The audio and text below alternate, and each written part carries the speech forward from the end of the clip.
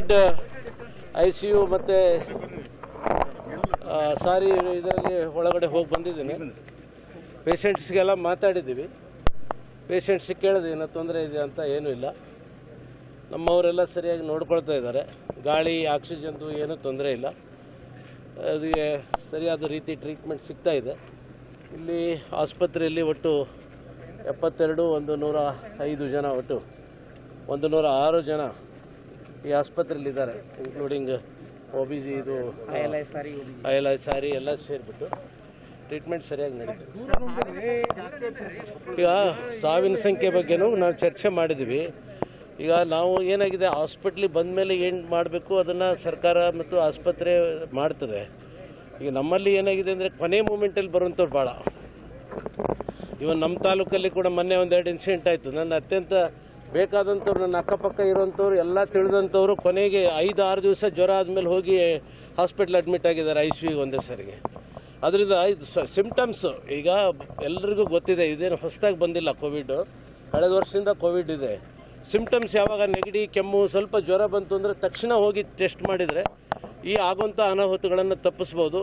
ಇದಕ್ಕೆ ಒಂದು ಕೈ ಸರ್ಕಾರ, ವೈದ್ಯಕೀಯ ಇಲಾಖೆ, ಆದರೆ ಒಂದು ಕೈ ಜನರದ್ದು ಸಹಕಾರ ಬೇಕು. ಆದ್ದರಿಂದ ಜನಗಳಲ್ಲಿ ತಮ್ಮ ಮೂಲಕ ನಾನು ಒಂದು ವಿನಂತಿ, ತಾವು ಸಾಕಷ್ಟು ಪ್ರಚಾರ ಮಾಡ್ತಾ ಇದ್ದೀರಿ, ಹೇಳ್ತಾ ಇದ್ದೀರಿ. ಇನ್ಸ್ಪೈಟ್ ಆಫ್ ಇಟ್ ಭಾಳಷ್ಟು ಜನ ಹೋಗೋದಿಲ್ಲ, ಹಳ್ಳಿಗಳಲ್ಲಿ ಮಾಸ್ಕ್ ಹಾಕೋದಿಲ್ಲ. ಇವತ್ತು ಬಹುತೇಕ ಬೆಂಗಳೂರು ಕ್ಲೋಸ್ ಆದ ನಂತರ ಹಳ್ಳಿಗಳ ಕಡೆ ಜಾಸ್ತಿ ಬಂದಿದೆ ಹಳ್ಳಿಗಳಲ್ಲಿ ಆಗ್ತಾ ಇದೆ. ಹಳ್ಳಿಗಳಲ್ಲಿ ಯಾರೂ ಮಾಸ್ಕ್ ಹಾಕ್ತಾ ಇಲ್ಲ. ಹಳ್ಳಿಗಳಲ್ಲಿ ಕೂಡ ಕರ್ಫ್ಯೂ ಇದೆ. ಅದ್ರ ಬಗ್ಗೆ ಜನರಲ್ಲಿ ಅವೇರ್ನೆಸ್ ಮೂಡಿಸ್ಬೇಕು. ಇದೆಲ್ಲದ್ರ ಬಗ್ಗೆ ನಾನು ಈಗ ಜಿಲ್ಲೆಯ ಅಧಿಕಾರಿಗಳ ಒಂದು ಸಭೆಯನ್ನು ಕರೆದಿದ್ದೀನಿ. ಎಲ್ಲ ಜಿಲ್ಲಾ ಅಧಿಕಾರಿಗಳು ಜಿಲ್ಲಾ ಪೊಲೀಸ್ ಅಧಿಕಾರಿ, ವೈದ್ಯಕೀಯ ಅಧಿಕಾರಿಗಳು ಮತ್ತು ಜನಪ್ರತಿನಿಧಿಗಳು ಒಂದು ಸಭೆ ಮಾಡ್ತೀವಿ. ಇನ್ನೂ ಎಷ್ಟು ಬೆಡ್ ರಿಕ್ವೈರ್ಮೆಂಟ್ ಇದೆ? ಈಗ ನಮ್ಮ ಹತ್ರ ಆ್ಯಸ್ ಇಟ್ ಈಸ್ ಮೂವತ್ತ ಐದು ಬೆಡ್. ಮೂವತ್ತೈದು ಬೆಡ್ ಅಡಿಷನಲ್ ಇದೆ ಇವತ್ತು as as on today additional ಇಡೀ ಜಿಲ್ಲೆ ಸೇರಿ ಮೂವತ್ತೈದು ಬೆಡ್ ಪ್ರೈವೇಟ್ ಆ್ಯಂಡ್ ಗೌರ್ಮೆಂಟ್ ಸೇರಿದೆ.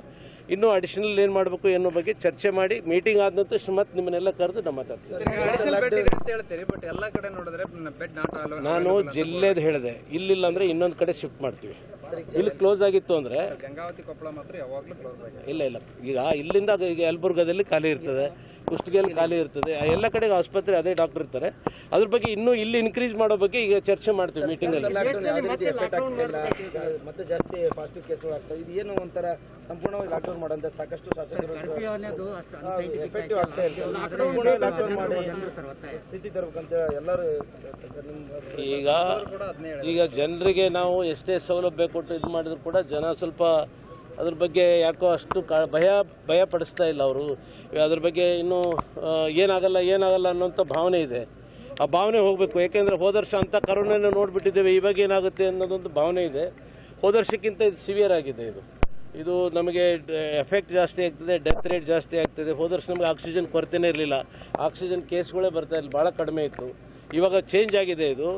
ಎರಡು ಮಿಶ್ರ ಆಗಿ ಆಗಿರೋದ್ರಿಂದ ಇದು ಆಗ್ತಾ ಇದೆ. ಇದ್ರ ಬಗ್ಗೆ ಈಗ ಲಾಕ್ಡೌನ್ ಏನಿದೆ, ಜನತಾ ಕರ್ಫ್ಯೂ ಇದೇ ರೀತಿ ಇವರು ಮುಂದುವರೆದ್ರೆ ಮುಂದೆ ಅನಿವಾರ್ಯ ಲಾಕ್ಡೌನ್ ಅನಿವಾರ್ಯ ಆಗುತ್ತೆ.